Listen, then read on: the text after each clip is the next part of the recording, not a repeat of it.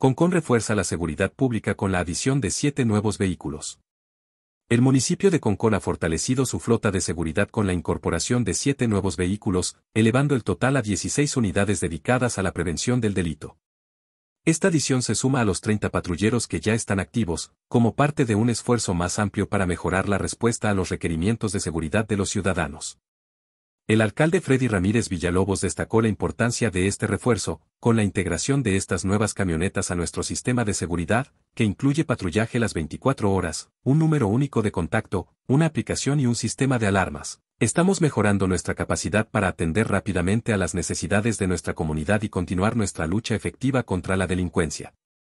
La inversión en estos nuevos vehículos forma parte de un plan de seguridad más extenso que ha requerido una inversión de 1.500 millones de dólares por parte del municipio. Este plan busca proporcionar una cobertura de seguridad más efectiva y eficiente en toda la comuna de Concón.